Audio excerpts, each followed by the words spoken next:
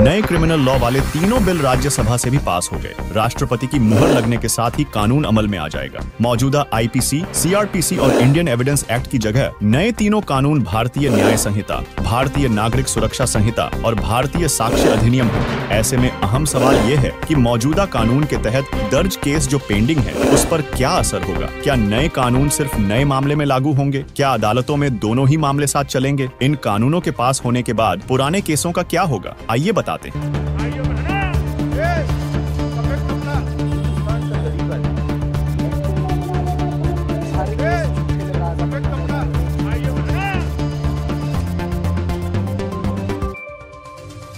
संसद के दोनों सदनों में तीन नए क्रिमिनल लॉ पास हो गए हैं। केंद्रीय गृह मंत्री अमित शाह ने सदन में बिलों को पेश किया। इसी के साथ राजद्रोह कानून में भी बदलाव हो गया है। केंद्रीय गृह मंत्री अमित शाह ने संसद में कहा, मैंने राजद्रोह को देशद्रोह कर दिया है। लोकतांत्रिक देश में सरकार की आलोचना कोई भी कर सकता है। अगर कोई देश की सुरक्षा, संपत्ति को नुकसान पहुँचाने का काम करेगा तो उसके खिलाफ कार्रवाई होगी। अगर कोई सशस्त्र विरोध करता है, बम धमाके करता है तो उसके खिलाफ कार्रवाई होगी। उसे आज़ाद रहने का हक नहीं उसे जेल जाना ही पड़ेगा। गृह मंत्री ने आगे कहा कि अंग्रेज़ों के बनाए इस कानून के कारण बाल गंगाधर तिलक, महात्मा गांधी, सरदार पटेल समेत देश के कई स्वतंत्रता सेनानियों को छह छह साल जेल में रहना पड़ा। हालाँकि आईपीसी की धारा 124 ए में राजद्रोह की जो परिभाषा दर्ज है करीब करीब उसी तरह की परिभाषा भारतीय न्याय संहिता 2023 के प्रस्तावित क्लॉज 150 में भी दी गई है। सिर्फ़ शब्द राजद्रोह हटाया गया है। इस नई परिभाषा के मुताबिक अगर कोई जानबूझकर या सुनियोजित बोलकर लिखकर संकेत ऑनलाइन वित्तीय साधन के ज़रिए अलगाव या सशस्त्र विद्रोह में शामिल होता है या इसे बढ़ावा देता है और भारत की संप्रभुता, एकता और अखंडता को खतरे में डालता है या ऐसे अपराध में शामिल होता है तो उसे आजीवन कारावास की सजा होगी। अब सवाल ये उठता है कि इन बदलावों के बाद उनका क्या होगा, जिन पर पहले से राजद्रोह के मामले चल रहे हैं। इनमें कन्हैया कुमार, कफील खान, दिशा रवि जैसे कई लोग शामिल हैं। फरवरी 2016 में जेएनयू कैंपस में कथित भारत विरोधी नारे लगाए जाने के आरोप लगे थे। इस मामले में कन्हैया कुमार पर सिडिशन लॉ लगाया गया था। डॉक्टर कफील खान पर भी साल 2020 में इस कानून की धाराएँ लगाई गई थी। बैंगलोर की क्लाइमेट एक्टिविस्ट दिशा रवि को भी राजद्रोह के मुकदमे में गिरफ़्तार किया गया था। फरवरी 2021 में दिल्ली की एक अदालत ने उन्हें जमानत दे दी। जमानत देते हुए एडिशनल सेशन जज धर्मेंद्र राणा ने कहा था की असहमति रखना राजद्रोह नहीं है। अब आइए जानते हैं की राजद्रोह को देशद्रोह करने ऐसी ऐसे मामलों में सुनाई जाने वाली सजा और जाँच के तरीके आरोप क्या प्रभाव पड़ेगा? दरअसल भारतीय दंड संहिता 2023 के प्रावधान कानून के लागू होने के बाद दर्ज हुए मामलों में ही लागू होंगे। नए कानून में जो सजा बढ़ाई गई है, उससे उन लोगों को कोई फ़र्क नहीं पड़ेगा, जिन पर पहले से ऐसे मामले चल रहे हैं। हालाँकि सजा भले ही पुराने कानून के तहत दी जाए, लेकिन जाँच और पुलिस के काम करने का तरीका बदल जाएगा। वो सब नए कानून के प्रावधानों के तहत की जाएगी। अंग्रेज़ी अखबार द इंडियन एक्सप्रेस ने इस खबर की शुरुआत किसी अभियुक्त को पुलिस हिरासत में रखने की अधिकतम सीमा पंद्रह दिन से बढ़ाकर नब्बे दिनों तक करने के प्रावधान से की है। पिछले कानूनों को औपनिवेशिक काल का प्रतीक बताते हुए शाह ने गांधी परिवार पर निशाना साधा। उन्होंने कहा, कुछ लोग कहते थे कि हम इन्हें नहीं समझते। मैं उन्हें कहता हूँ कि मन अगर भारतीय रखोगे तो समझ में आ जाएगा, लेकिन अगर मन ही इटली का है तो कभी समझ नहीं आएगा। ये तीनों बिल पहली बार अगस्त में हुए संसद के मानसून सत्र के आखिरी दिन सदन में रखे गए थे। इसके बाद इन्हें संसदीय स्थायी समिति के पास भेज दिया गया था। इंडियन एक्सप्रेस के अनुसार, इस समिति की अध्यक्षता बीजेपी सांसद ब्रिजलाल के पास है। समिति ने सितंबर से अक्टूबर के बीच छह दिनों से अधिक मुलाकात की। इन विधेयकों पर चर्चा के दौरान विपक्ष के कुल संतानवे सांसद अनुपस्थित रहे। इन्हें सदन से निलंबित किया गया है। नए क्रिमिनल बिलों को राष्ट्रपति के पास मंजूरी के लिए भेजा जाएगा। आपका इन कानून के विषय में क्या विचार है, हमें कमेंट में बताएँ और वार्ता 24 न्यूज़ चैनल को सब्सक्राइब करें।